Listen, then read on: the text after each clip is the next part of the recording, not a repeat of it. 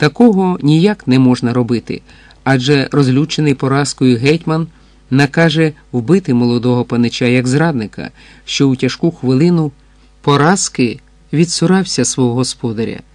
Тоді Моше не виконає клятви, якою заприсягнувся батькові молодого панича панові сотнику Раковичу, бо Моше заприсягнувся найстрашнішою, найсуворішою клятвою витягнути єдиного його сина, молодого панича, навіть із самісінького пекла.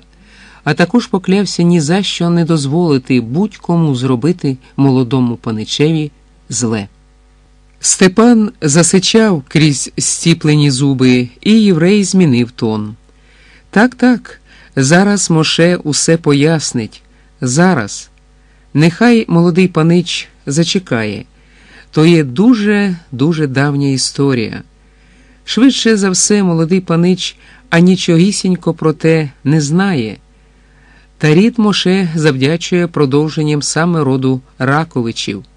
Адже дід молодого панича, батько його батька, під час повстання Зіновія Абданка Хмельницького врятував шинкаря Берка Беншмуля, а то був батько Моше, котрий зараз має честь прислуговуватись молодому паничеві. От як це сталося. Повсталі козаки нищили всіх нащадків праотця нашого Абрахама, які тільки траплялись на їхньому шляху.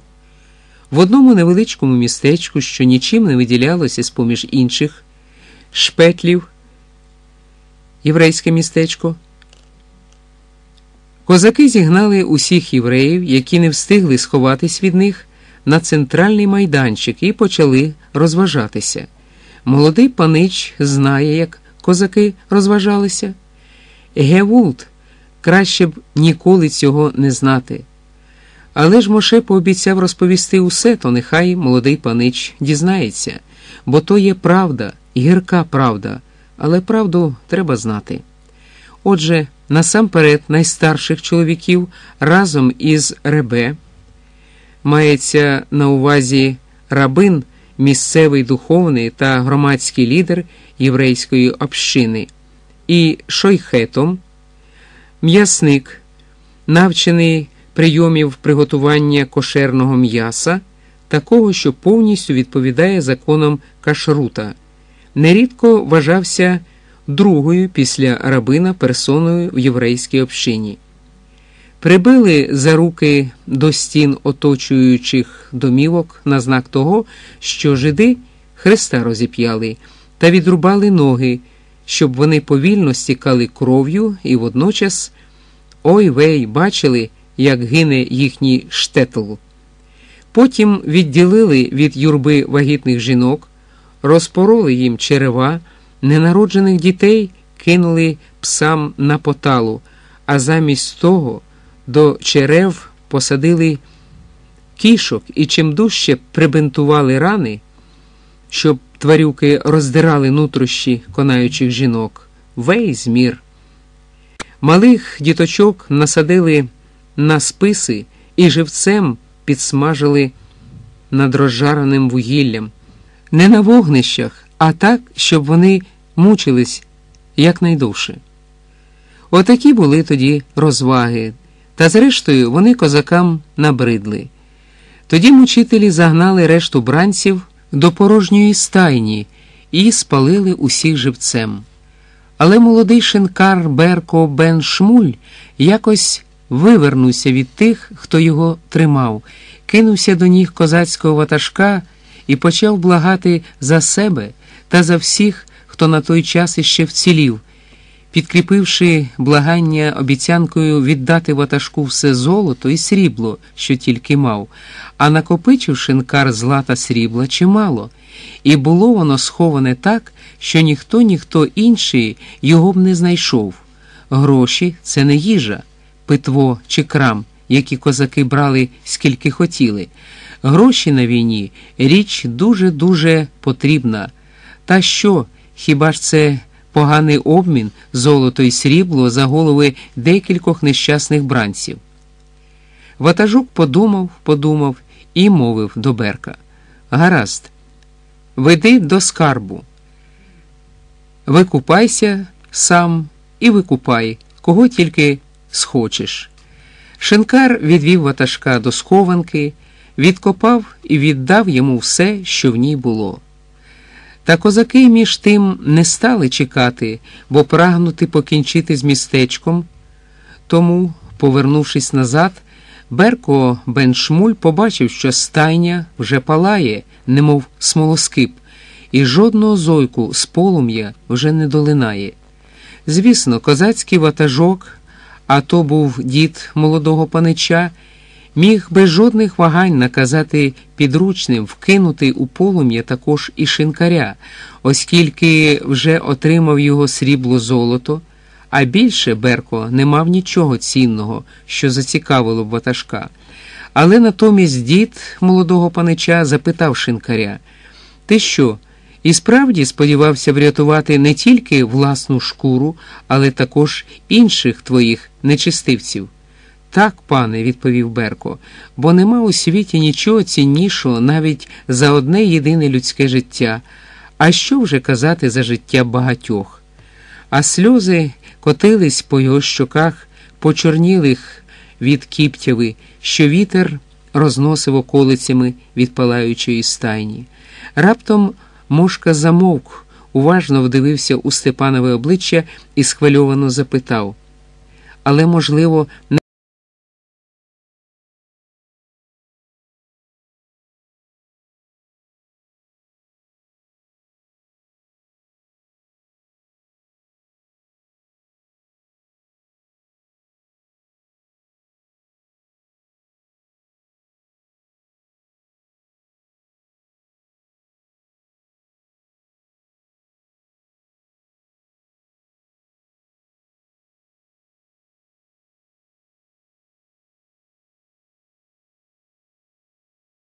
Заприсягнуся, чим хочеш, що це свята правда.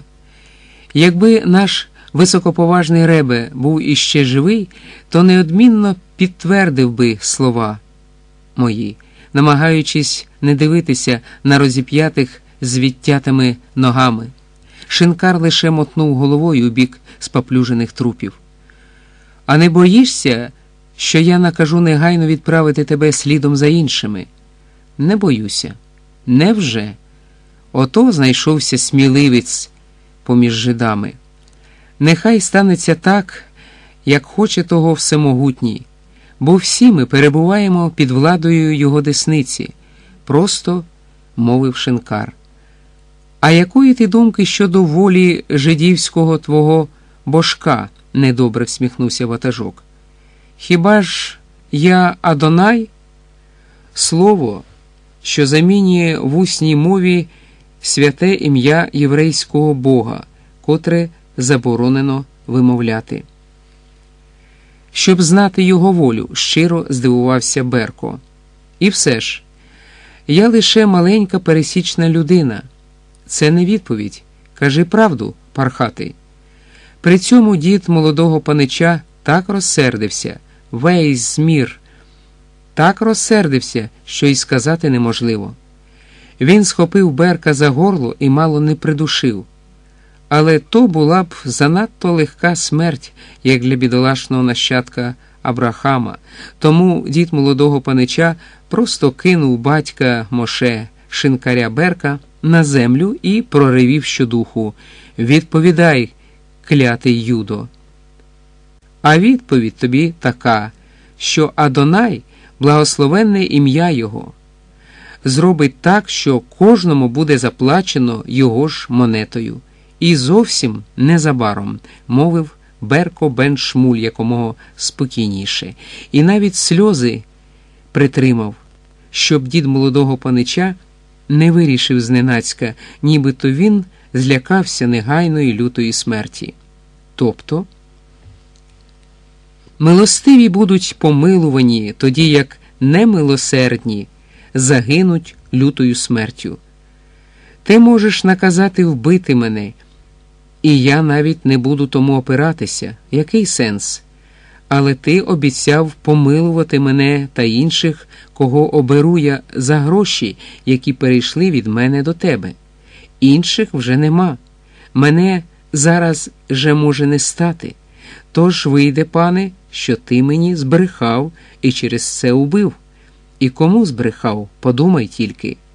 Недостойному єврею і його богові, святим ім'ям якого я заклинав тебе про милість. Тож пам'ятай, козаче, така сама доля чекає й на тебе, бо Адонай усе бачить і чує, і навіть те, чого не кажуть наші вуста, але промовляє серце.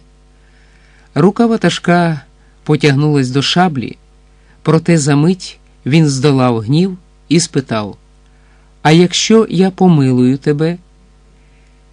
Милостиві також будуть помилувані, а мої товариші козаки. Хіба ж їхнім серцям знайоме милосердя? запитав у відповідь шинкар. Тоді козацький ватажок велів зв'язати Берка Бен Шмуля і возити за загоном три дні, а по завершенні цього терміну пообіцяв здерти з живого шинкаря шкуру, щоб зробити з неї набите гречаною половою опудоло та повісити його посеред лісу на гіляці дуба. І не просто повісити, а на свинячих кишках, якщо Адонай, нехай благословиться цар Всесвіту, за цей час якимось чином не виявить свою волю. І, мабуть, таки зробив би те опудало, якби ранком третього дня козацький загін не втрапив у польську засідку. Всі козаки загинули у сутичці, а хто не загинув, тих поляки посадили на вкопані обабіч дороги палі. Врятувалися ж у тій сутичці лише двоє козацький ватажок і молодий шинкар Берко. Щоправда, ватажок втратив і усі відібрані в шинкаря гроші і свого коня. Усе те перейшло до поляків, але ж вони обидва лишилися живі. Відтоді дід молодого панича ніколи вже не насмілювався розпитувати Берка Бен Шмуля про волю всемогутнього. Більш того, Берко Бен Шмуль завжди перебував поруч із дідом молодого панича, віддано служив йому, добував йому золото і срібло, а також давав дорогоцінні поради, коштовності за будь-яке золото та срібло. Потім так само віддано служив його старшому синові, а згодом заповів своєму синові, себто мені, Моше служити нащадкам великодушного козака, який врятував наш рід від повного і остаточного винищення. Знаючи, що я пов'язаний батьковим заповітом, пан сотник не тільки довірив мені усі свої гроші, але й перед самісіньким арештом. Занадто пізно Мошка зрозумів, що бовкнув зайве. Почувши про батьків арешт, Степан застогнав настільки тужливо, що єврей розгублено зйокнув. Ой вей, ой вей, сплеснув руками та благально мовив. Нехай панич молодий вибачить старого дурня Моше, але ж всемогутній тому свідок Моше не хотів казати цього паничеві. Не слід було дізнаватися про таке, не стілившись повністю від тяжких ран. Але ж старий Моше прохопився вей змір. Як погано, як погано. Ракович дихав важко, тихесенько стогнав, тому єврей продовжив.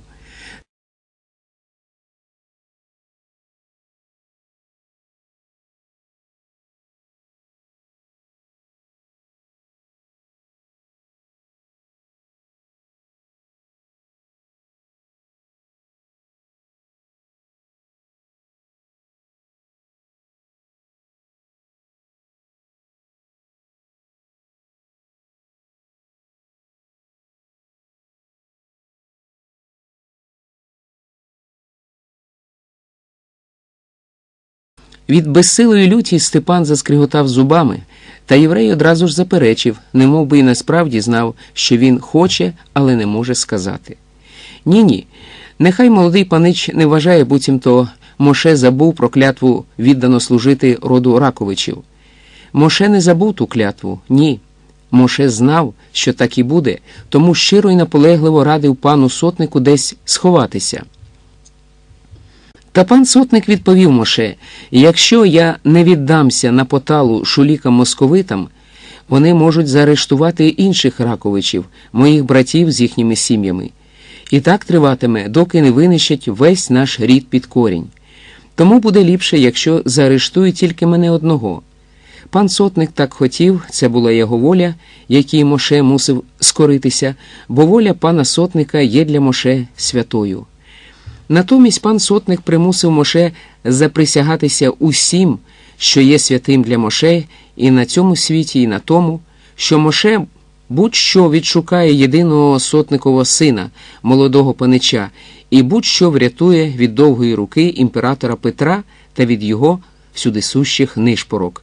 Тому, коли шведські вояки програли битву, Втім, Степан не слухав розповіді Мошки про те, як він примудрився довідатись від інших сердюків про ганебну поведінку молодшого Раковича на полі бою.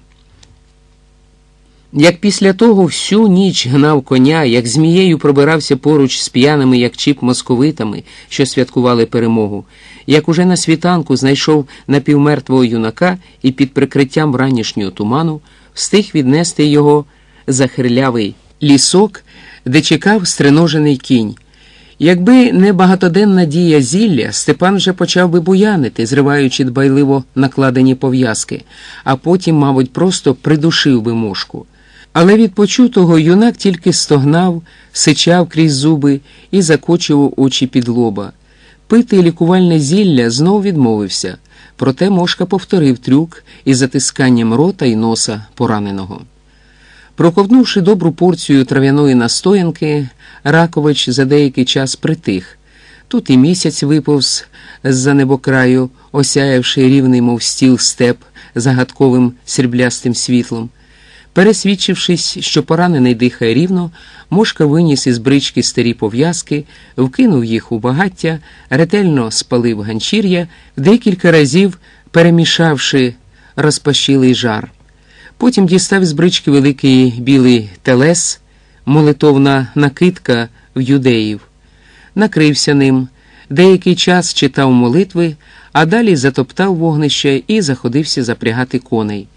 Їхати було все ще далеченько, тож і цю ніч ліпше не спати на твердій землі, а дрімати напередку брички. Глава шоста. Краще вже померти. Але ж, ваша милосте, так не буває. Як саме, хробачок? Якщо у твоєму житті з'являється вчитель, його впізнаєш відразу. Що за дурниці ти верзеш?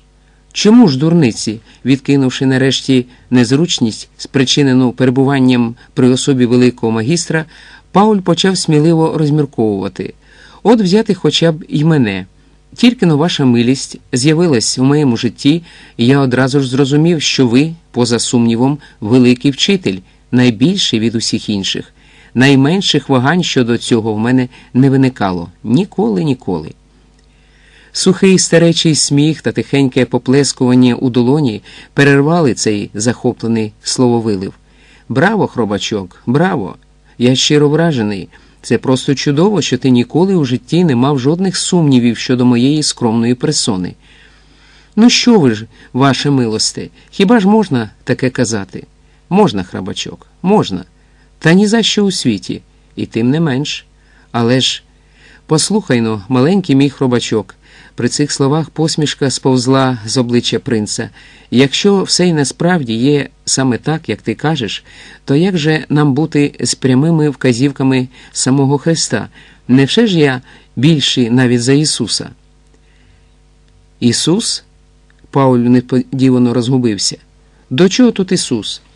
Згадай нагірну проповідь, адже він недарма наказав апостолам випробовувати вчителів котрі приходять у його ім'я. Хіба ж ні? Здається, що так. Пауль не був цілком впевнений, проте заперечувати графові не насмілився. Точно так, юний мій хробачок, точно так, твердо мовив великий магістр і перехрестився, промовляючи. До того ж, я сам на власні вуха чув цю проповідь і підтверджую слова Христа усім своїм авторитетом, якщо мій авторитет для тебе насправді важливий. Так, вчителю, схилив голову юнак. Я й забув, що ваша милість мали велику честь особисто знати нашого Господа. Даруйте. Нічого, нічого, пусте. Я не повинен забувати про такі речі. Кажу ж тобі, пусте. У голосі принца брязнуло невдоволення, і Пауль слухняно замовк. Магістр продовжував Ти ставишся до мене без належної критичності, хробачок, а це засвідчує, що і вся віра твоя, і довіра до мене сліпі. А сліпота у вірі то є фанатизм. Чи люблю я фанатиків? Як ти вважаєш? Я не вважаю, але точно знаю, що ваша милість дуже-дуже не любить фанатиків, упевнено мовив Пауль. Вірно, похвалив його граф. Нумо, продемонструй знання найпершого основоположного принципу нашої таємної ложі. Просто зараз? здивувався Пауль. А у чим річ? ледь помітно всміхнувся великий магістр. Але ж принцип цей належить до першого внутрішнього кола знань, а відтак у голос його можна проголошувати лише у присутності не менше ніж трьох посвячених третього ступеня. Знаю, знаю, кивнув.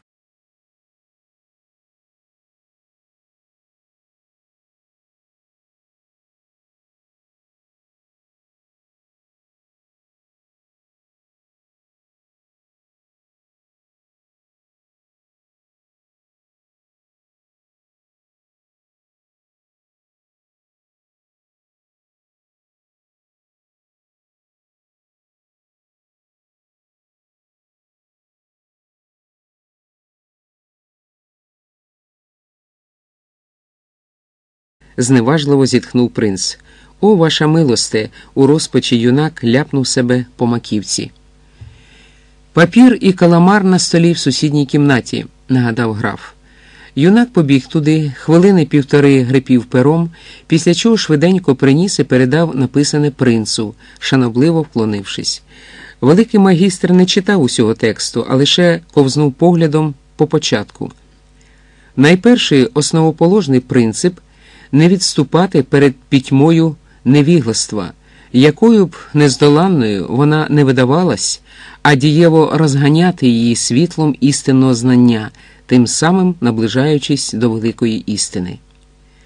Задоволено кивнувши, граф указав на камін. Пауль негайно вкинув туди папірця і деякий час перемішував жар коцюбою. От бачиш, хробачок, повчально мовив принц, коли юнак повернувся на своє місце. Наближення до великої істини можливе лише через конкретну дію. Бо якщо душа твоя буде просякнута найкращими принципами, немов губка водою, але ти сидітимеш, склавши руки, то так і загинеш у крижаній пітьмі. Втім, помиляються також ті, хто приймає знання бездумно, не осмислюючи їх зі сліпою довірливістю бо вони також ховають руки від діла. Хоча для непосвяченого і виникає враження, нібито такі люди дуже-дуже мудрі. Чи пам'ятаєш ти принцип зернятка, хробачок? Уже без зайвих нагадувань Пауль знов бігав до сусідньої кімнати та приніс звідти нову коротеньку записку. Насипане у лантух зерно лишається мертвим, скільки б його у тім лантусі не було і скільки б воно там не пролежало. Проте одне єдине зернятко оживає, тільки но потрапивши у землю.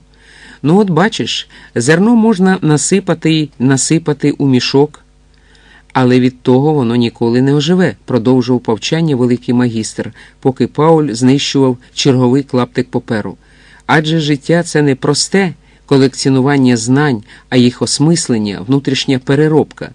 То, що ти й досі вважаєш, буцімто учень може навіть так, має право неосмислено приймати слова вчителя? Ні, ваша милосте. Чому? Бо в такому разі людина, котра лише називається вчителем, стає подібною до скнари, що ховає лантухи з зерном у коморі. Тоді як справжній вчитель мусить бути подібним до сівача, котрий кидає зерна на ріллю, щоби вони проростали і давали рясні сходи. Ну, от нарешті чую від тебе вірні слова, принц тихесенько поплескав у долоні. Тому навіть найбільший з усіх вчителів людства, сам Господь Ісус Христос, наказував неодмінно перевіряти слова вчителя, а не вірити їм із фанатичною сліпотою, бо будь-який вчитель, і навіть найталановитіший, усе ж таки менший від великої істини. А якщо слова вчителя розходяться зі знанням про істину, учень має повне право покинути вчителя, бо то є облудник, котрий нічого доброго навчити не здатен. Чи згоден ти із цим, хробачок? Так, ваша милосте. І якщо я навчатиму тебе і інших членів нашої таємної ложі неправедних речей, тоді і я, і будь-хто інший не просто маємо право, але зобов'язані будемо залишити вашу милість. Вірно, хробачок, то скажи, чому, знаючи все це, ти все ж таки сприймаєш мої слова без належної критичності? Пробачте, ваша милосте. Чи розумієш, що після такого прикрого випадку я можу, обличчя графа посуворішало? Не треба, будь ласка, благаю. Ну, гаразд, принц трохи пом'якшав. Тим паче ти, хробачок, видаєшся мені доволі здібним початківцем. Тільки май на увазі. Основоположні принципи існують не для того, щоб лежати у твоїй душі мертвим вантажем, а для постійного слідування ним та повсякденного, повсякчасного застосування у житті. Зрозумів? Так, ваша милосте. Я теж мушу сіяти здобути зерно, а не тримати його у лантусі власної душі. Тоді я з часом стану подібним до вашої милості. То не кажи більше дурниць, симпатичний мій хробачок. Не буду. Отож, тим паче можу тебе запевнити, тобі тільки здається, ніби ти одразу повірив своєму наставникові, котрий привів тебе до мене. За інших умов ти б ні за що не повірив би й одразу. Але ж утім той річ, що умови звичайними не були.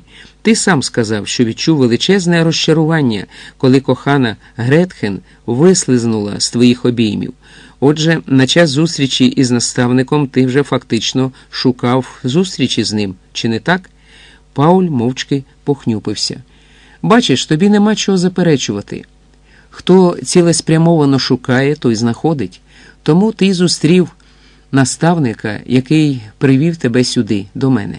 Але тобі лише здається, що все відбулося саме собою, що ти раптом одразу повірив і наставникові, і мені, що ніколи не сумнівався у нас і словах наших, та просто забув усю правду.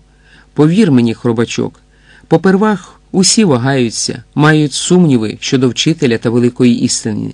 Знання ніколи не дається легко, ніколи. Рік 1709 від Різдва Христового Європа.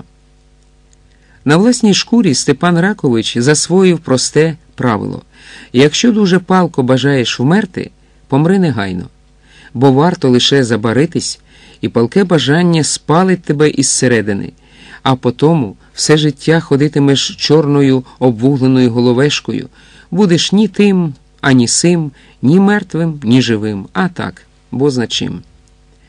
Чи то за час дороги подіяли протирання,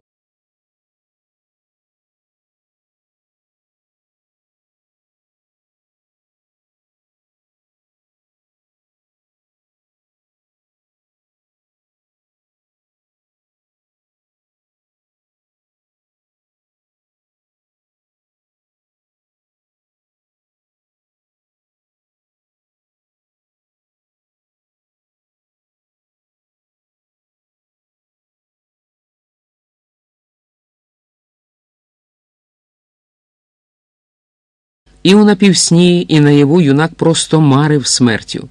Справді, навіщо жити, коли наймиліша його серцю дівчина давно чекає на нього в раю, та й рідний батько, мабуть, вже опинився там. Їхні душі вже на небі, прогулюються яскравими луками і квітучими садами безкрайнього царства Божого серед сонмів янголів, а він досі мучиться на землі. Так, був у нього колись товариш зі спудеїв Іван Богданович. Але ж той байстрюк перетворився на смертельного ворога, став юдою з юд, нагромадив довкола Степана цілий мур облудної брехні і оманою занапастив усе, що було в Степана цінного. Саме він, до речі, теж не святий, бо зрадив свого гетьмана, забувши про сердюцьку присягу. То ще варто лишатись серед живих, зазнавши такого нищівного і ганебного програшу. Разом із похмурими думками, що роїлись у голові, до рук і ніг всього тіла поступово поверталася здатність рухатись, Відтак Степан почав серйозно обдумувати, як накласти на себе руки. Діяти можна було по-різному. Найлегше дочекатися, коли мошка пожене коней галопом і виструбнути з брички, щоб на скаку розбитися об землю. Аби загинути напевно, можна обрати момент переправи через якусь річку і кинутись у воду, от тоді неодмінно потонеш. Можна було відмовлятися від питва та ліків, щоби все-таки не одужувати або померти від спраги. Можна битися головою об дошки брички, щоб спробувати розкроїти собі череп. Можна пошукати в мушки якоїсь отрути. У скринці, де він тримав лікувальні притирання, неодмінно має лежати щось подібне. Недарма ж у вертепних виставах обов'язково розігрується сценка про те, як огидний брехливий єврей шинкар підмішує до горілки отруту і намагається напоїти нею козака. То як мошка може обійтися без смертельної отрути, прихованої у скринці серед ліків. Мабуть, також можна відшукати в його речах мотузку або розірвати на смужки рядно і скрутити мотузку зі смужок, а потім удавитися теж вихід. І нарешті у єврея є господарський ніж. Відтак можна знайти його та зарізатись. Утім, для здійснення задуму сили в руках і ногах було ще замало, тож Степанові лишалося цілими днями трястись у бричці і уявляти, як він перекочується усе ближче до бортика, перехиляється через нього і на повному скаку летить на кам'янисту землю, або як ковтає знайдену у скринці Гедоту, або. Та дивна річ, чим частіше Степан уявляв сцени самогубства, тим більше переконувався у нездійсненності подібних планів. Справді, розбитися на смерть при падінні з брички йому би швидше за все не вдалося. Очевидно, вони вже відірвались від переслідувань московитів, тож мушка більше не гнав коней галопом, а їхав значно повільніше. Крім того, часто поглядав під навіс, аби сказати Степанові декілька підбадьорюючих слів. Звісно, за таких умов єврей одразу помітить, як юнак вистрибне з брички і повернеться за ним. А позаяк розбитися або звернути в'язи на малій швидкості навряд чи вдасться, мошка незабаром вилікує Степана. Впасти у воду, щоб потонути, але на переправах через річки. Єврей сходив з передка і уважно слідкував за кіньми та бричкою. Не помітити при цьому Степанового падіння він просто не міг. Битися головою об дошки, але ж це не тверде каміння, у голову з першого ж удару не розкроїти. Та й єврей почує стукіт і поцікавиться, а що ж там робить недолугий молодий самогубця? Шукати отруту у скринці? Подібне могло спасти йому на думку, коли лише. Степанові часто марились різні жахи. Коли ж у голові прояснилося, юнак одразу зрозумів, що мушка не вивозив би його з поля бою та не лікував би весь цей час тільки задля того, щоб одного дня напоїти смертельним зіллям. Значно простіше було кинути тяжко пораненого подихати там, де він впав посеред битви. Знов таки, єврей навряд чи допустив би, щоб Степан під його доглядом не їв, не пив ні лікувальної настоянки, ані води, бо навіщо тоді юнака рятувати? Удавитися? Степан навіть сісти у бричці не міг. Де вже йому шукати мотузку, робити на кінці удавку, видиратись на дерево, прив'язувати знаряддя для самогубства і стрибати униз? Надто складно, надто довго і непосильно для хворого. Спробувати заволодіти господарським ножем оце якраз було би цілком реально, якби мошка не тримав ножа у торбинці під передком брички. Доповсти туди Степан ще не мав сили. Але то не головне питання в іншому. Хіба не відчув би мошка, що під навісом брички не все гаразд, хіба не зупинив би руку самогубця в останній момент? Отак думав Степан, думав, чекав, поки достатньою мірою набереться сил, чекав і нарешті дочекався, коли поздоровішав настільки, що зміг так сяк сидіти в бричці, то зрозумів раптом, що просто не здатен шукати ножа та різати собі горлянку або рвати на смужки ряднину і робити удавку. Він так довго планував свою смерть, так довго смакував уявні видовища скорого і вірного кінця, що тепер подібні думки зробились нестерпно огидними. Ні, жити Степанові зовсім не хотілося. Проте варто було уявити себе лежачим з перерізаною горлянкою або повішеним на гілляці, як на душі робилось бридко. От у чим загадка. Тепер, переживши важке одужання у дорозі, йому не хотілося зовсім нічого ні жити, ані вмирати. Зависнути б десь посередині між життям і смертю, щоб не їсти, ні пити, а просто цілу вічність нічого не робити. Та це теж було неможливо, отже Степан сидів собі під навісом брички, потрошку цідив воду та цілющу трав'яну настоянку, навіть почав жувати й ковтати хліб та шматочки курячого м'яса. І чим далі, тим більше тупішав від нескінченної їхньої поїздки. Іноді оглядав своє нове незвичне вбрання, та поступово єврейський каптан перестав привертати.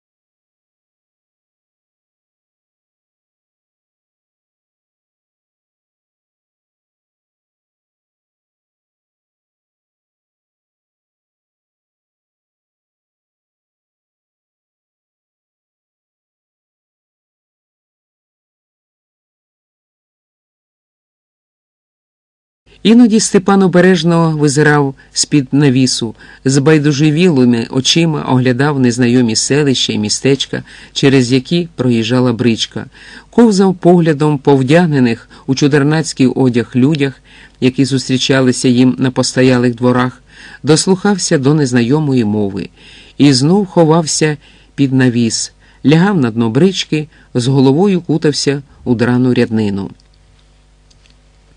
З останньою надією прислухався до своїх почуттів, але навіть внутрішній голос безпорадно мовчав. Степана абсолютно не цікавило, де саме і куди вони їдуть, що за люди тут живуть. І загалом, навіщо все це? Сіра каламутна байдужість заполонила його душу, заповнила мозок, стиснула крижаними клепками серце. Степан ані трішечки не зрадів, коли мошка зовсім виключив з його щоденного раціону трав'яну настоянку, а відтак скованість язика та щелеп послабла настільки, що він нарешті почав сяк так потякати. Користі від того не було жодної. Тутешні люди не розуміли ні шляхетної польської мови, ні народної української, ані німецької а спілкуватися з селюками та бідними городянами латиною, давньогрецькою чи давньоєврейською. Про це навіть думати смішно. Тобто було би смішно, якби Степан зберіг іще здатність всміхатись. Нарешті вони доїхали до похмурого сірого міста, де повітря було просякнуте досі незнаними пахощами солі та йоду. Зупинились у убогій халупі, тільки но єврей відрахував її господарю декілька золотих монет і сказав декілька слів невідомою мовою, як той одразу ж позадкував до дверей, вирячивши на мошку очі і вклоняючись обом мало не до землі. Більше вони господаря не бачили. Про джерело невідомого запаху Степан дізнався значно пізніше, однак нічим неприкметного дня, такого ж похмурого, як і все це похмуре сіре місто. Мушка уперше вивів заслаблого юнака на вулицю і повів прогулятись на дамбу. Тоді Степан уперше в житті побачив безкрайні океанські простори, але навіть це величезне видовище не збудило його цікавості, як і досі сіра імла стискала серце, що вже не скніло тугою, а загалом немов би зникло із грудей. Так Степан абсолютно збайдужів до оточуючого світу а заразом і до світу внутрішнього, який абсолютно спорожнів. Паскудно похмуре одноманітне буття з паскудними похмурими ранками, що змінювались не менш паскудними похмурими днями, захололими вечорами та монотонними ночами, в усьому відповідало летаргічному спокою його душі. Ну що поробиш, така вже зима у цих краях. Але ж, Господи, навіщо життя? Навіщо й надалі відбувати день за днем у тюрмі власного тіла? Кому потрібне рослинне існування донедавна ще сповненого сил юнака? Невже ж тобі, о Господи? То навіщо? Рік 1710 від Різдва Христового, Голландія. Зарипіли і гримнули вхідні двері. За хвилину до кімнати увійшов мошка, та Степан навіть не озирнувся на нього. Справді, навіщо озиратись?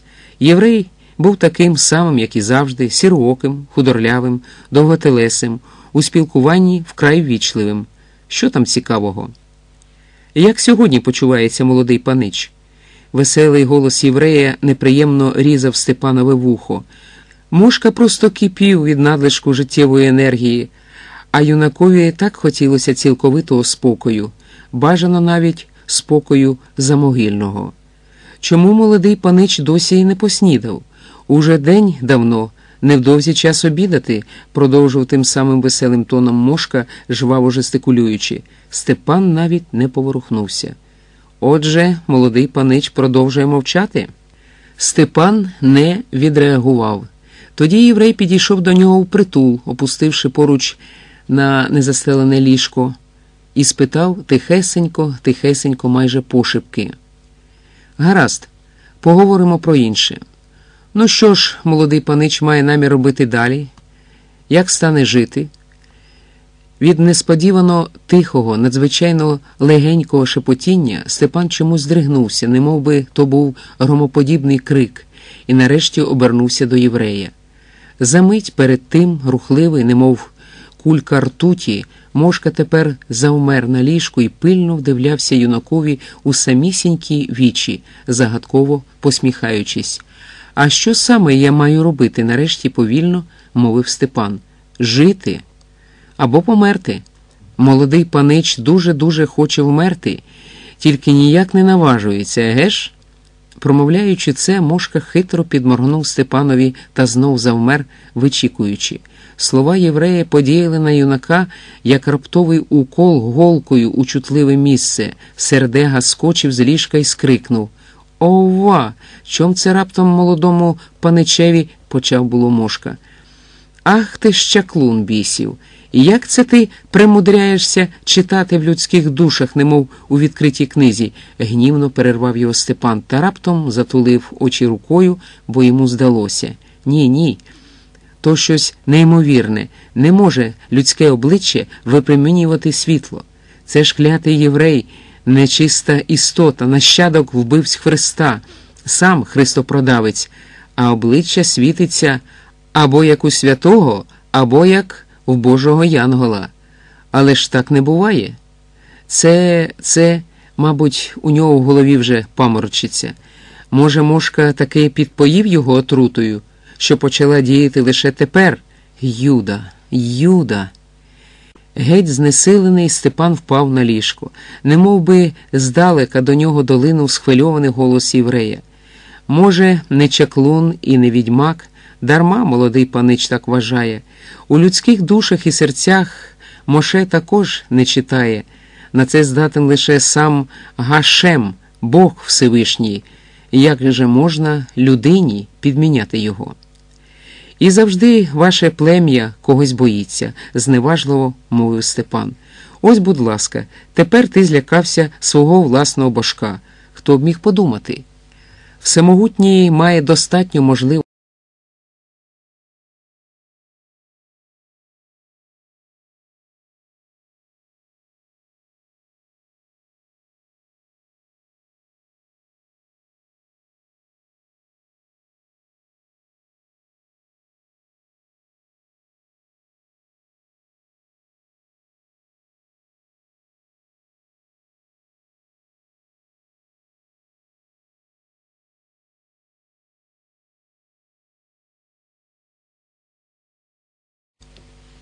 Юнакові здалося, що при цьому в голосі єврея пролунали зовсім недоречні радісні нотки, тож одразу спитав, що ж це тебе так звеселило? Ти часом не наді мною смієшся? Може, тішиться тим, що молодий панич все-таки більше прагне до життя, ніж до могили. Навмисно обраний людиною шлях у небуття ображає Адонає. Зате шлях до життя веселить. Шлях до життя то є дуже добре, адже молодий панич неодмінно одужає. Знов ти за своє. Але ж то є правда. Ти все-таки або відьмак, або не знаєш майбутнього, помру я чи. Моше не знає майбутнього, проте очі Моше можуть бачити печатку всемогутнього, якою позначений молодий панич. Брешеш, свиното. Так палко виявляють почуття лише живі, а не мерці. Отже, молодий панич житиме. Ні, юнак знов знітився. Краще вже померти, ніж отак страждати. Молодий панич не здатен сказати правду навіть собі самому. Що? То я, по-твоєму, брехун? Степан з-під лоба позирнув на єврея. Але мушка мав цілковито серйозний вигляд, у його сірих очах не було найменшого натяку на презирство або на кепкування. Моше переконався, що молодий панич прагне зовсім інших речей, не тих, про які говорить. Доля молодого панича жити, щоб здійснити волю всемогутнього, а не лежати в холодній могилі. Це дуже-дуже радісна новина для Моше. А я скажу краще удавитись або зарізатись. Нічого молодого панича не вийде. А як раптом? Гаразд, перевіримо. Мошка підвівся, легкою ходою вийшов до сусідньої кімнати і за декілька хвилин повернувся з довгою міцною мотузкою у лівій руці та з ножем у правій. Кинув перенесене на ліжку поруч із Степаном. Нехай молодий панич робить, як вважає за потрібне, а Моше навіть заважати не стане. Невже? Моше присягається, що не заважатиме. Ні за що, ні за що. Чим заприсягнешся? Святим престолом всемогутнього, на який він сідає і в день суду, і в день радощів. Гаразд. Не зводячи очей з підступного єврея, котрий справді здавався абсолютно байдужим, Степан спочатку взяв ножа. Мошка не реагував. Степан перевірив, чи добре, ніж заточений. Лезо було гостре, як коса дбайливого селянина. Повертів його, так і сяк, відклав на ліжко. Далі руки потягнулися до мотузки. Юнак випробував її на міцність, намотав на руку, щоб дізнатися приблизну довжину. Має вистачити, щоби. А може, це все ж таки хитромудре випробування? Не інакше. Степан з-під лоба позирнув на єврея. Незворушливий мошка спокійнісінько сидів на ліжку і зосереджено розглядав кінчики пальців, щось бубонячи собі підніс. Степан узяв обидва знаряддя самогубства одночасно, але наступної ж миті вони впали на підлогу. Мошка, мошка, свиняча твоя пика, мовив юнак розчаровано. Ти маєш рацію. Я настільки слабкодухий, що не можу наважитись на останній крок. На свинячу пику єврей ані трохи не образився. Він миттєво заштовхнув ногою і мотузку, і ножа під ліжко та радісно констатував: Ну от. Моше не помилився. Навіщо кидати речі на підлогу? Чому б загалом не прибрати їх звідси?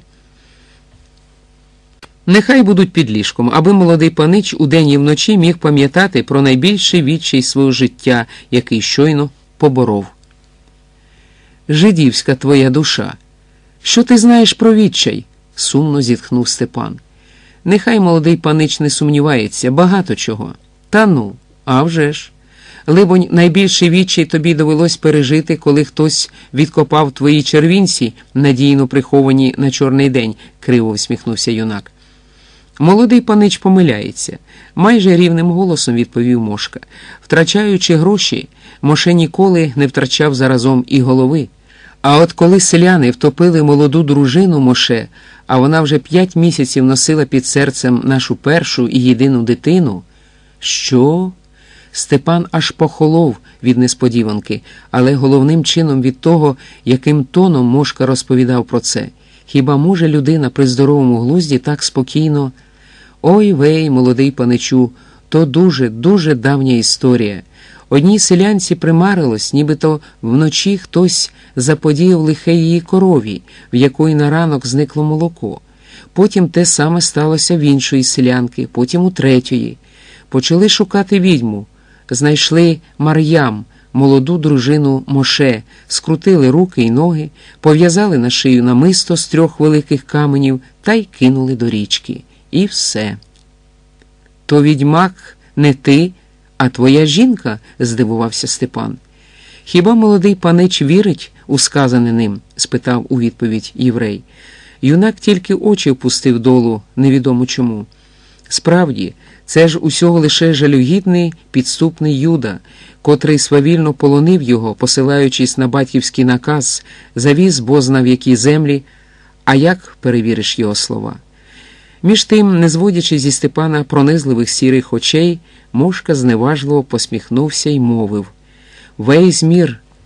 Моше тепер зрозумів, що молодий панич зовсім не обізнаний на народних прикметах щодо відьом.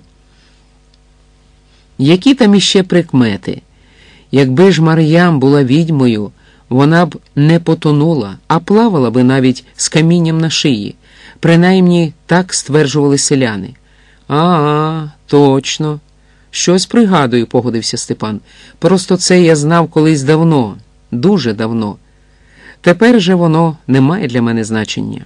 Так от, вагітну Мар'ям втопили, а молоко в коров продовжувало зникати. Це припинилось лише коли втопили ще трьох жінок з того самого селища, простих селянок, тобто, бо всі наші повтікали до лісу і там переховувались.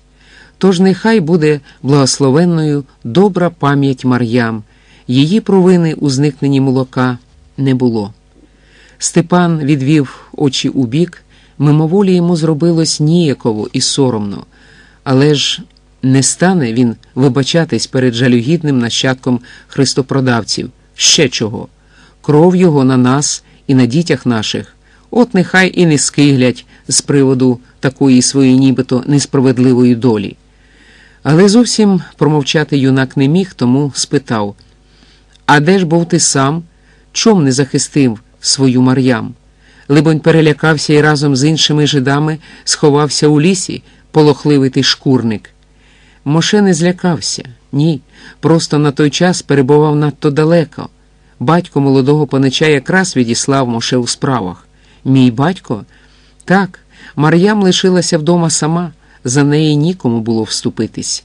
Степан зніяковів ще більше, але не знайшов гідних почутого слів, крім непевного вигуку. Ну. Єврей лише кивнув у відповідь, але швидше власним думкам, а не Степановому нуканню. От тоді справді було кепсько, і саме тоді Моше справді хотів померти, бо більш за все прагнув потрапити до своєї Мар'ям та нашого ненародженого сина. А молодий панич чомусь вважає, буцімто для Моше найбільша втрата у житті це гроші. Так усі вважають, спробував виправдатися Степан.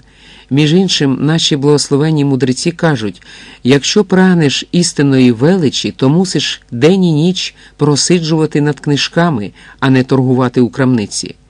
Важливо, аби життя було наповнене мудрістю, а тоді гроші самі до рук прийдуть.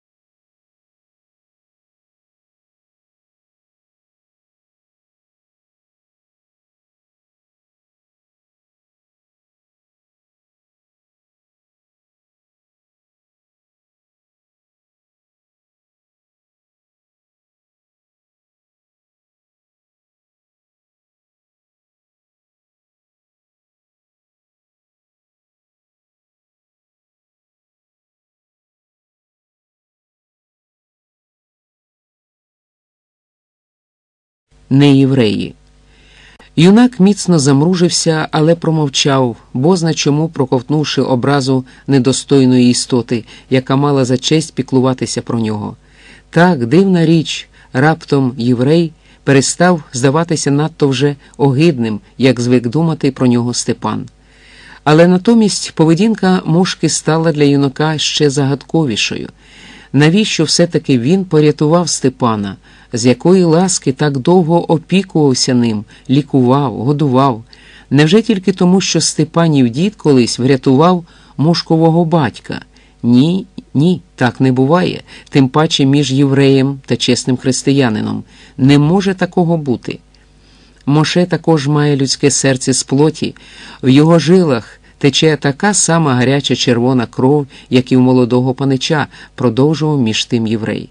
І Моше так само сприймає біль втрати, бо, розлучившись зі своєю Мар'ям, Моше ніколи більше не одружувався. Чому ж все-таки не шубовснув у воду слідом за дружиною? Весь мір, попервах Моше дуже-дуже хотілося зробити це. Молодий паничі не знає, як хотілося. Знаю, буркнув Степан. Ні, проте потоплення стало би найбільшою, найжахливішою помилкою в житті.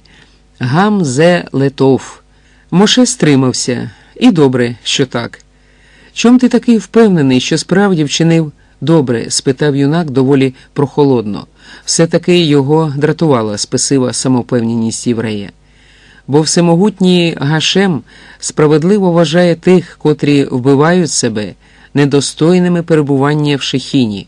Буквально перебування давньоєврейською одне з імен трансцендентного і вседисущого Бога, що втілює ідею його постійної дієвої присутності у світі. Як? Що ти сказав, юнак анічогісінько не зрозумів у цих словах. Повторино знов, мудрагелю. Доступною молодому паничеві мовою можна сказати так: Всевишній не потерпить під своїм покровом самогубців, а вони ні за що не витримують сяяння слави самогутнього, тому не потрапляють під його чистий покров. Юнак кивнув, але мушка по інерції продовжував говорити. А сказав він те, від чого Степанові очі потихеньку полізли на лоба. І добре, що не тільки сам Гашем милостиво пояснив це ображеному на злу долю Моше, але що сам Моше також дістав підтвердження і від своєї дружини Мар'ям, і від нашого ненародженого сина. Так, то є дуже-дуже добре. Кілька хвилин юнак жалюгідно тремтів, кліпав очима, мовчки відкривав і закривав рота, перш ніж зміг видушити з себе розгублене. Я. Я. Як? Як ти сказав? Правду кажучи, він було подумав, що, згадавши пережиту трагедію, єврей раптом збожеволів не інакше. Втім, Мошка відповідав абсолютно спокійно і, що найдивніше, з непохитною впевненістю. Моше піднявся до найвищих сфірот.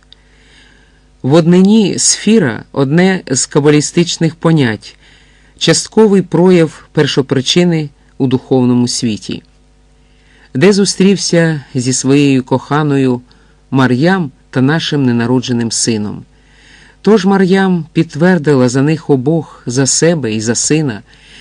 Якби після її загибелі Моше не втримався і втопився слідом, він би став на шлях занепаду, тоді як їхні невинні душі, навпаки, перебувають на стежинці сходження. Рухаючись у протилежних напрямах, в іншому світі, душі Моше, Мар'ям і нашого сина ніколи б не зустрілися, а так. Моше лишилось тільки діждатися свого часу. Мар'ям і син очікуватимуть на нього в одному з вищих світів, щоб разом іти до престолу всемогутнього. Що ти верзеш? схопився за голову бідолашний Степан. Це ж богохульство. Хоча чого іще, крім богохульства, можна очікувати від нащадка христопродавців, які самі ж накликали на свої голови Божу кару, раптом подумав ошелешений юнак. У той же час таємничий внутрішній голос тихесенько нашіптував Степанові Прислухайся до нього, прислухайся уважно. Може, ти дожив до цього дня лише за тим, щоб несподівано дістати надію зараз, саме зараз, коли вже остаточно втратив її, чого тільки не трапляється у цім дивнім світі. У чому, на думку молодого панича, полягає богохульство? перепитав незворушний мошка. Ти розмовляв із мертвими. Хіба ж? Не бреши, хитрий юдо, це твої слова. Хіба молодому паничеві невідомо, що людська душа не помирає разом із тілом, а підноситься у вищі світи? Ті, хто за порогом цього світу, зовсім не мертві. Так, але Степан затнувся, бо не знав, напевно, як краще заперечити євреєві. Можна було презирливо кинути йому в обличчя тираду про те, що Бог давно вже відвернувся від юдеїв, і після підлого вбивства Христа всі вони, від найменшої малечі до стерезного дідугана, недостойні навіть розпечені сковорідки, у пеклі разом з чортами лизати. Можна було процідити крізь зуби, що єврейський божок це гаманець із червінцями, а тому після смерті вони відправляються не на небо, а до компанії свого святого, Юди Іскаріота. Можна було.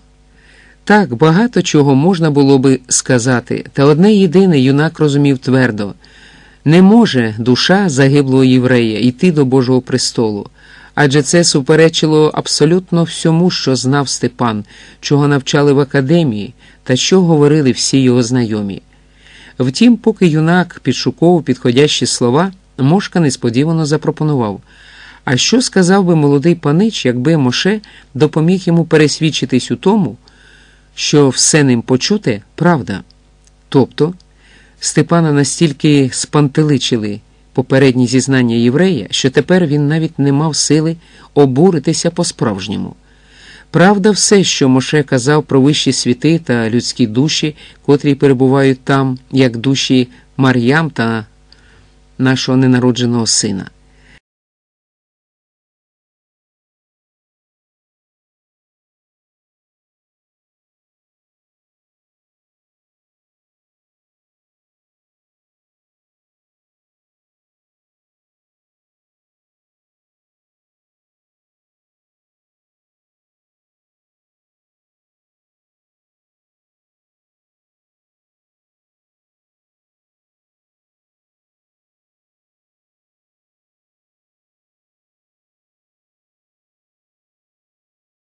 Та цей мошка, він же сам справжнісінький дідько. Годі й дивуватись, що батькові дні скінчилися десь у московському казематі. Боже ж мій! Ті, які мандрують у вищі світи, перебуваючи у вищому духовному стані, вони знають, немає живого та мертвого, є душі в людських тілах і душа у вищих світах, немає минулого теперішнього та майбутнього є лише п'ять світів, що відділяють людину від престолу, на якому сидить Гашем. То чом би двом або трьом люблячим душам не зустрітися в одному з вищих світів? Мушка говорив надто спокійно та розмірено, без жодної тіні хвилювання або слабкості, що зазвичай супроводжують брехню. І все ж таки Степан ну ніяк не міг повірити єврею не міг і край. Вищий світ це небо, рай, а нижчий пекло. Окрім них нема нічого, а нічогісінько. Юнак вирішив не здаватися ні за що. Вищі світи це Асія, Єцира, Брія, Ацелут, Адам Кадмон, а далі світ безкінечності. Згідно з кабалістичною традицією, назви вищих світів у порядку сходження від земного до небесного. Або ж сам всемогутній, благословенне святе ім'я Його. Боже, Ти чуєш це, чом же не скараєш нечестивця? скрикнув Степан у розпачі. Запевняю молодого панича, Гашем слухає нашу вчену бесіду дуже-дуже уважно, посміхнувся Мошка. Побачивши ту безневинну посмішку, Степан відчув, що абсолютно програв суперечку, тому лише знесилено мовив. І як ти тільки не боїшся говорити мені подібні речі? А чому Моше мусить боятися? Бо кабала то ваша велика жидівська таїна. От чому єврей лише всміхнувся. Весь мір то справді велика таїна, але для тих лише, хто не бажає проникнути під її покрови. Тобто, близько півтора століття тому великий Ребе Арі повне ім'я Іцхак Лурія Ашкеназі, один з великих кабалістів, що жив у XVI столітті, сказав. Віднині таємне знання стане відкритим для кожного, хто не полінується подолати цю мудрість. Молодий панич здатен на це, тож Моше вказує йому гідний шлях. У Степанових очах застигло німе питання, тож Мошка повів далі. Всемогутній Гашем допустив, щоб серце молодого панича було розбите. Брешеш. Люди розбили моє серце, а не твій життівський божок. Розбили серце і справді люди, та якщо не буде на те волі всемогутнього, жоден волосок не впаде з голови молодого панича. Що вже казати про людське серце? Степан змушений був промовчати. Отож, Гашем допустив, щоб серце молодого панича було розбите, та біда в іншому. Молодий панич так і не зрозумів, чому Гашем допустив таке. Хоча це свідчить про велику любов всемогутнього до молодого панича. Нічого собі, любов. Юнак не зумів втриматись від сповнених болю зітхань. Лише впавши у прірву відчаю та розбившись об її кам'янисте дно, можна прагнути таємного знання, адже тільки воно дасть можливість зцілити кровоточиві рани на розбитому серці, тільки таємне знання і ніщо інше. Оволодівши ним, молодий панич дістане змогу вільно подорожувати між усіма вищими світами, зазирати у минуле та в майбутнє і навіть наближатись до трону самого Адоная, що стоїть на хмарах істинної слави та істинної сили. Рани мого серця ніщо і ніколи не зцілить, Степан безнадійно махнув рукою. Заперечуючи, мошка замотав головою, немов кінь, що відганяв причепливих мух. Милість Всевишнього та його знання кращих ліків молодому паничеві не потрібно.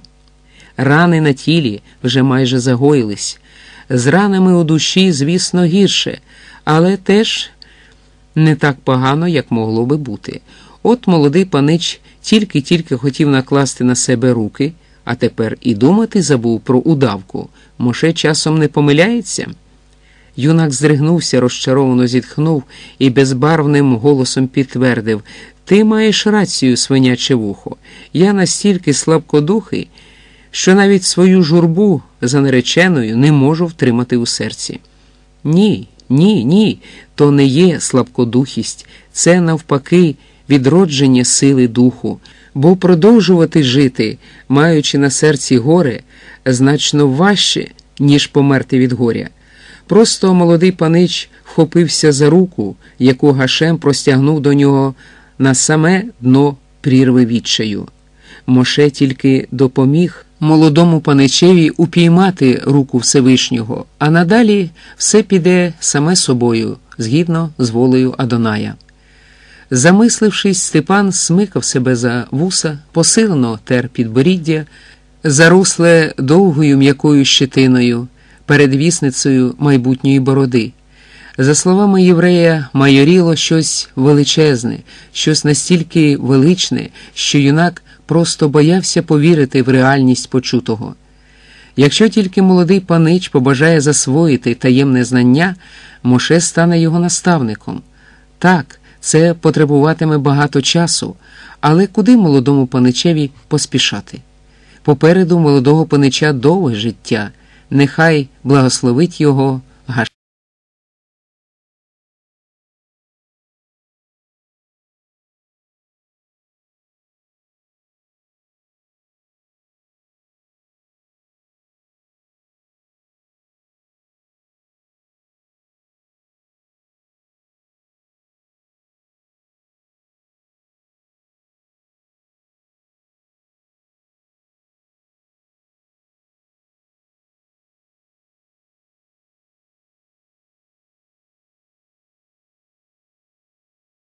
Отже, мабуть, таки треба чимось заповнити сіру порожнечу майбуття, бо якщо й надалі день за днем сидіти в цьому будиночку, це ж збожеволіти можна. Тож нічого кращого, ніж навчання таємної науки, просто не придумати. Тільки от проблема. А на що я житиму? Чиїм коштом? Невже твоїм? раптом спитав Степан у єврея. Той охоче пояснив. Батько молодого панича, пан сотник, якось позаторік викликав Моше до себе і сказав, що передоручає йому вивезти з України все своє багатство, тобто не маєтність, а лише гроші. Чого це раптом? здивувався Степан. Бо, хоча пан сотник всіляко намагався уникнути участі у майбутній війні, що невідворотно насувалась на Гетьманщину, Моше заздалегідь попередив його, що молодий панич рветься служити гетьману Мазепі, який вже повів переговори з королем Карлом. То що? Ти наперед знав про це? Тепер здивування юнака стало просто безмірним. У вищих світах можна багато про що дізнатись, і всемогутній милостиво дозволив Моше зазирнути одним оком у майбутнє. То як посмів ти, свиняча пика, не попередити мого батька про небезпеку? Що ж ти за вірний радник, якщо промовчав, знаючи? Хіба ж пан сотник не намагався відмовити молодого панича найматись на гетьманську службу? Так, але зненацька Степан подавився словами, бо згадав, як усе було. Немов живий, перед його внутрішнім поглядом намалювався покійний батько, котрий скорботно мовив Не думай, що я благословлю єдиного свого сина на авантюру, я просто не стану заперечувати, бо він про це теж казав. Безперечно, батько мав на увазі мошку. Моше попередив пана сотника про все, мовив між тим єврей. Попередив, що молодий панич вже загорівся ідеєю найнятись до ясновельможного гетьмана Мазепи сердюком, щоб не відступитися від своїх намірів ні за що у світі, і що через це над усіма Раковичами нависне смертельна небезпека. Пан сотник вирішив ну, нехай тоді помру тільки я один, а до братів моїх та до любого мого сина Степана нехай криваві руки московитів не дотягнуться. Що для цього потрібно? Моше порадив якнайдорожче заставити всю маєтність, яку лише вдасться заставити, додати сюди всі коштовності і сотникові гроші, за виключенням необхідних для ведення господарства, а зібравши скарб докупи, вивести подалі від Гетьманщини та вкласти у вигідну прибуткову справу. Пан сотник схвалив цю пропозицію. Тоді Моше подбав про заставу маєтку, а потім вивіз довірений йому скарб до Голландії, як і було наказано. А тепер привіз сюди молодого панича. Отже, завдяки мудрим завбачливим розпорядженням свого батька, молодий панич не мусить піклуватися про день сьогоднішній та день завтрашній, не думатиме про те, що їсти та що пити. Тепер молодому паничеві можна скільки завгодно займатися вивченням таємної науки. Але ж про все інше подбає Моше, котрий через своїх віддалених родичів дуже вигідно розмістив довірене його опіці панське золото, срібло й коштовності в надійних купців, що ведуть торгівлю індійськими тканинами, китайським та японським фарфором. А зараз з'явилась нова мода чай. То є напій такий. З дуже-дуже далеких земель той чай завозять, а коштує він ой як недешево. Уже тепер молодого панича багато грошей, а завдяки старанням надійних купців буде ще не в одну тисячу разів більше. Багато-багато золота в нього буде. Ой вей. Нехай молодий панич все ж якось повірить старому нащадку Абрахама, а може, й не повірить, але тоді просто зачекає і сам пересвідчиться в усьому. А що ти собі урвав від нашого багатства? поцікавився Степан. Не урвав, а взяв виручку за клопоти. Ну, ще пак. Жит свого ніколи не впустить. Молодий панич тим незадоволений? скоромовкою спитав єврей. Ні, чому ж? юнак знизав плечима. Навпаки, все стало на свої місця. Тільки про що бажає дізнатись молодий панич? Куди ти дів нажиті на нашому нещасті гроші? Либонь, прилаштував іще вигідніше, ніж батькове золото. Так, так, значно вигідніше, погодився єврей. Ну, то куди ж? У молодого панича. Тобто, на виручені гроші я придбав бричку та коней. За них ми жили весь цей час, купували їжу та питво, сплачували подорожні. На них Моше купив оцей дім. І ти називаєш це вигідним вкладанням? Степан геть нічого не розумів. Звісно, що так. Але чому? В Моше все одно немає сім'ї, про яку він мусить піклуватись. Тому Моше із задоволенням взяв під свою опіку молодого панича. Ти що, хочеш, щоб жит став рідним батьком козацькому сину, нащадку славного роду Раковичів? Степану було зовсім невесело, та він був готовий розреготатись просто в обличчя старому. Моше зовсім не збирається замінити молодому паничеві рідного батька, але наставником та опікуном молодого панича бути може. Пхе, ну й фантазії в тебе. Час доведе, що Моше не збрехав. Один бездітний купець готовий продати свою частку в прибутках Ост-Індійської компанії, а про надійного управителя Моше завчасно подбав. Тож років через десять молодий панич матиме стільки золота, скільки деяким правителям тутешніх країн не снилося. Але не на майбутньому багатстві має зосереджуватись увага молодого панича.